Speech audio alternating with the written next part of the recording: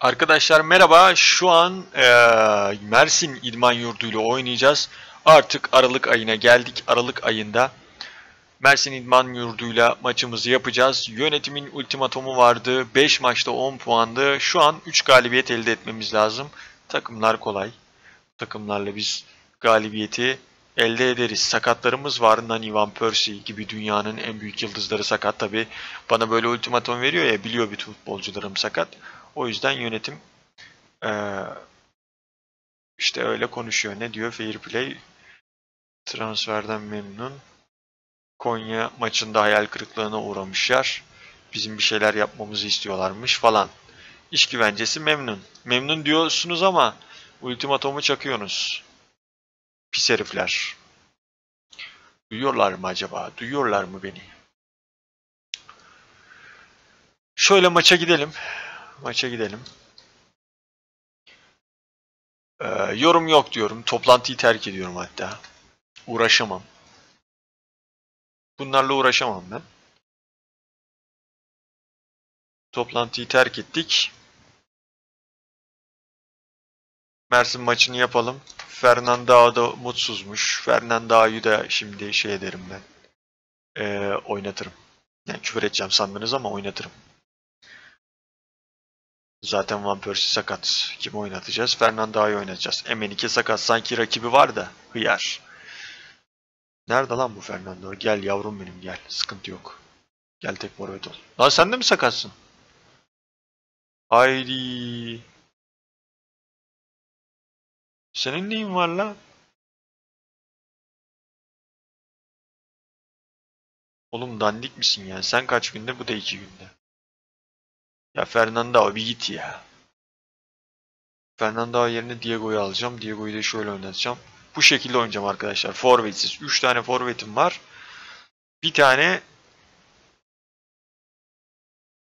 Mehmet Meyril'e. Sağ birini almamız lazım ya. Şöyle Meyriles yerine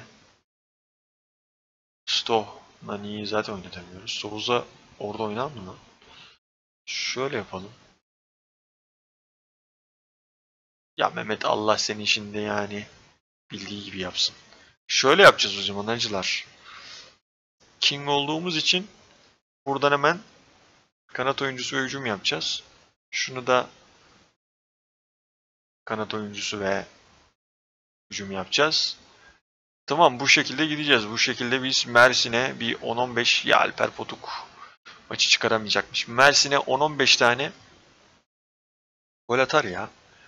Ee, Nakulma'yı zayıf ayağını kullandırmaya zorlayacakmışız. Nakulma nerede Nakulma? Al. Al senin de dediğini kesin bir dille. Sağda ne yapmanız gerektiğini biliyorsunuz dedim. Kimse tepki vermedi. Bu nasıl bir sistem ya? Teknik direktör bir şey diyor, tepkisiz kalıyorlar ya. Oğlum burada başçavuşun eşeği mi anırıyor lan?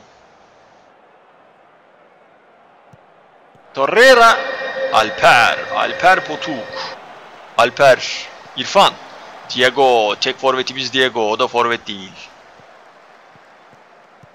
Şimdi biz orta sahayı böyle koşa koşa geçip işte böyle bu şekilde paslaşıp ve golümüzü atacağız. Volkan Volkan Allah'ını seversen orada 50-100 milyon trilyon kişi var ya.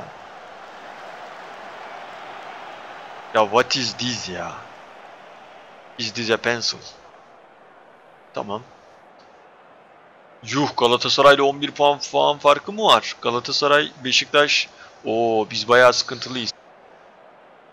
Şuraya bak Kasımpaşa ile bile 7 puan fark var ki Kasımpaşa'yı izleyin yani maçlarını. Rezalet. Gökhan Gönül. Gökhan Gönül'ün müthiş golü. Gökhan. Muhteşem bir golle sahalara döndü. Şimdi golü izleyelim.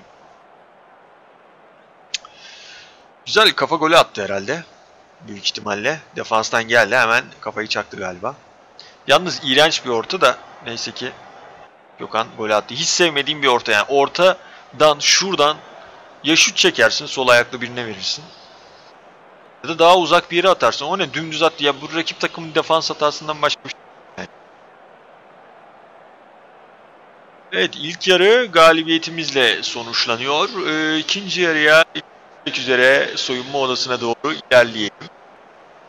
Bekleme yapmayın. Bekleme yapmayın. Kayar. Kayar'dan çok müthiş bir hata. Nakulma zayıf ayağına zorlamıştık Nakulma'yı.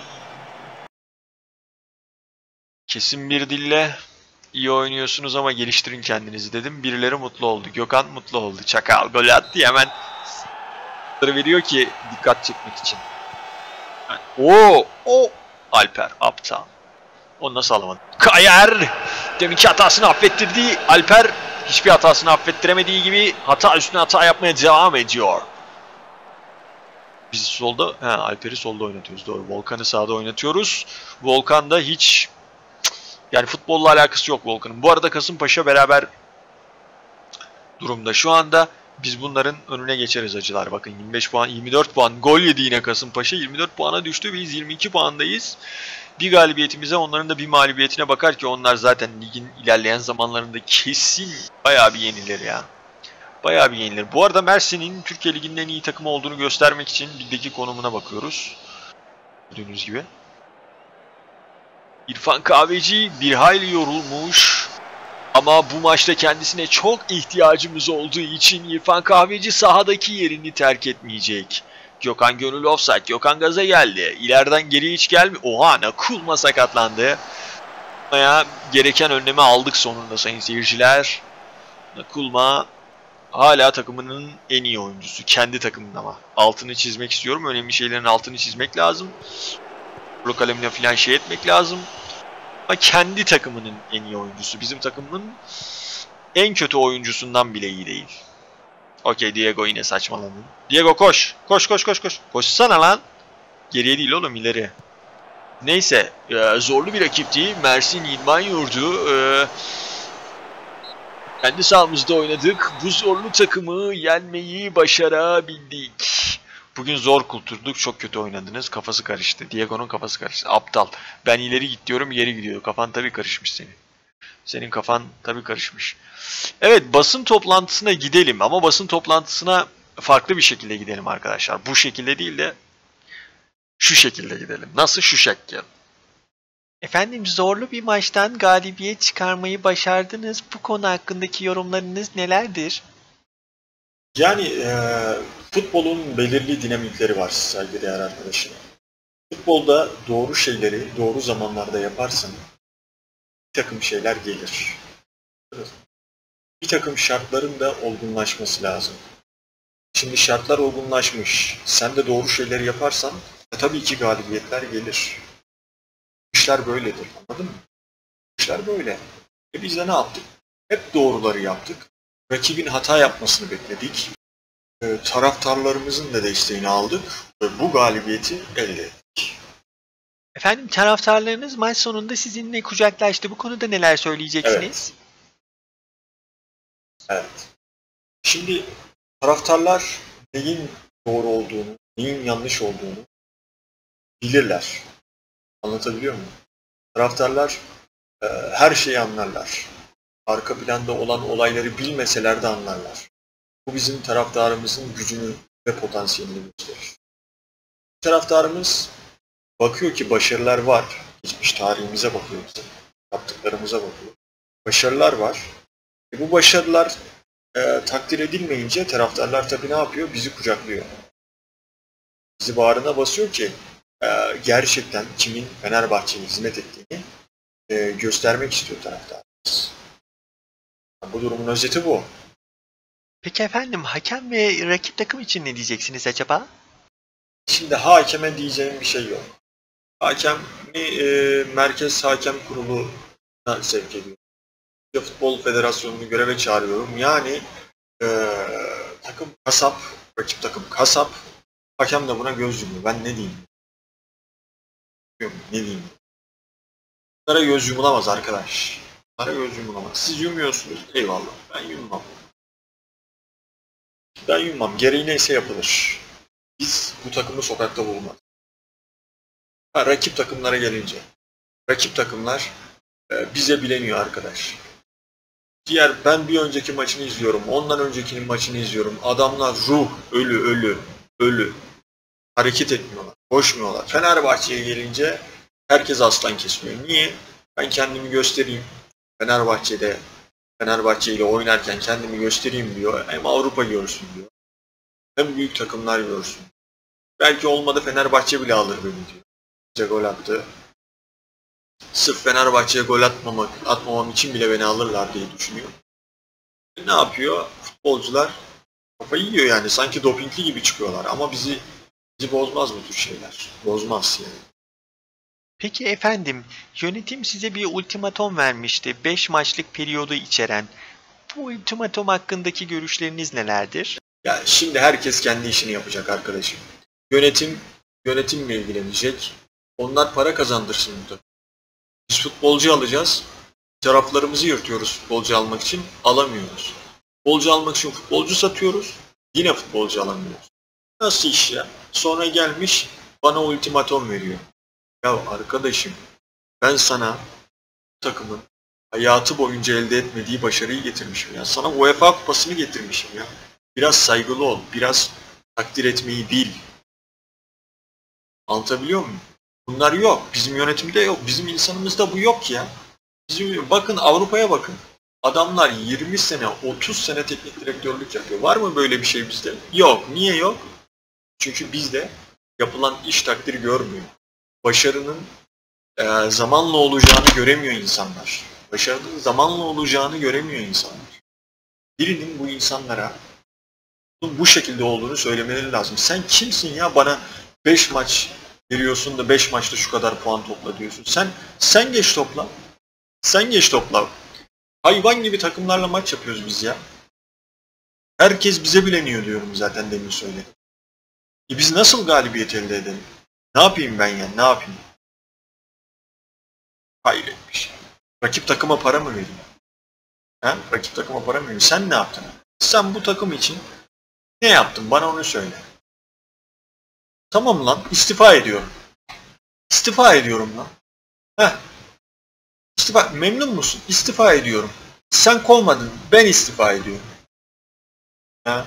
Ne oldu? Ha şimdi şimdi bak bakalım ne oluyor. Başarı elde edebiliyor musun? Çakal seni. Biz bu kariyeri biz bu kariyeri oturduğumuz yerden yapmadık. Alnın teri var burada, alın teri. Gece gündüz çalıştık. Sen kuş yatağında uyurken ben gittim e, futbol kasetleri izledim. Başka kasetleri izlemedim. Anladın mı? Senin. Öyle yani. Ben istifa ediyorum arkadaş. Ben istifa ediyorum. Ne haliniz varsa görün. Buradan siz sevgili taraftarlarım sesleniyorum. Arkadaşlar hepinizi çok seviyorum. Sizleri de sayın basın mensupları, saygıdeğer basın mensupları. Sizleri de tebrik ediyorum. Sizin de Allah belanızı versin. O ne biçim soru? Ne biçim sorular soruyorsunuz bana? Ama neyse sıkıntı yok. Ben nasıl olsa bıraktım. Şu an istediğimi söyleyebilirim. Peki bundan sonra kariyerinize nasıl devam etmeyi düşünüyorsunuz Ha, efendim? yarın ne yaparım? Yarın giderim kanallara çıkarım. Yorumculuk yaparım. Ha, yorumcu ha, onu oradan atması lazım değildi, şuradan atması lazım. Olay biter yani. Bu kadar basit. Oturduğun yerden ahkam kesersin. İnsanları eleştirmek kolay anladın. İnsanları eleştirmek kolay ama ortada böyle hani yapıcı bir şey var mı? Üretim var mı? Biz bu takıma bir değer kattık. Olmayan bir kupayı üzerimize taşıdık. Siz ne yaptınız? Hiçbir şey. E ben de biliyorum konuşmayı. Ben de şimdi oturacağım. Diyeceğim ki başkan şöyle yaptı. Başkan bunu böyle yapsa daha iyi olurdu. Başkan ne yapıyor? Karalama kampanyası. Ben de yaparım. Yönetim. Bu yönetim ne işe yarıyor diye. Bu takımda niye başarı yok? Tarihinin en büyük başarısını yakalayan bir direktörü nasıl bu kadar mağdur edebildiniz derim. Bunları ben sorarım. Bunları halk soruyor. Bunları 70 milyon soruyor. Bunları 7 milyar soruyor. Ben de sorarım. Peki bu kararınızı yönetimle konuştunuz mu? Arkadaşım şimdi gaza geldim de söyledim. Yönetimle ne zaman konuşayım ben? Ben ne konuşacağım o heriflerle ya? Ultimatom veriyormuş. Biz sen kazan o zaman. Şimdi ha teknik direktörün yok. Heh, şimdi sen kazan. 5 maçta 10 puan kazanacakmışız. Al ne yaptık? Avrupa'nın devine kök söktürdük ya. Var mı böyle bir şey? Yok. Ötüyor. Yok. Başka. Peki başka bir takımı çalıştırmayı düşünür müsünüz? Başka bir takımı çalıştırmayı da düşündüm. Çünkü ben ne başka teknik direktörlerden ne efendime söyleyeyim başka takımın başkanlarından ya da taraftarlarından bir destek görmedim. Bir destek görmediğim için de ben kimseyi çalıştırmıyorum arkadaş. Ben bu işi burada noktalıyorum. Ol, teknik direktörlüğü, teknik adamlığı, kariyerimi burada sonlandırıyorum. Türkiye için konuşuyorum. Yani giderim yarın öbür gün Avrupa'da işte efendim Barcelona'yı Real Madrid'i çalıştırırım. İşte buradakiler de hala kendileri kumda oynarlar. Onlarla da maç yaparım 5-10 tane de onlara atarım. Anca öyle olur ama gidip de yani ben şimdi bu saatten sonra Türkiye'de beni desteklemeyen insanlara ben niye hizmet edeyim arkadaş? Niye vereyim? Biraz mantıklı sorusu. Niye vereyim?